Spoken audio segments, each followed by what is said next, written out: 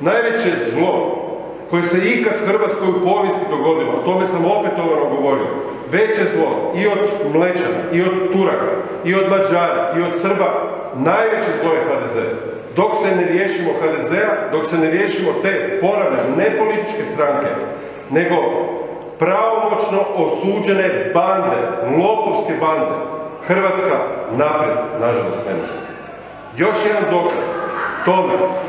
je ovo što se događa s ovim dekonstrukcijama. Dakle, tamo više, iako HDZ ima puno ljudi, puno članova, tamo više nema ljudi koji su spremni biti dio vlade, koji su spremni preuzeti odgovornost, pa onda gospodin Plenković nalazi likove poput onog Filipovića i sličnih, jer jednostavno nema ljudi koji bi koji bi se prihvatili funkcije u toj organizaciji koja ponavljam ne služi apsolutno ničemu osim ostvarivanju njihovih osobnih, često i kriminalnih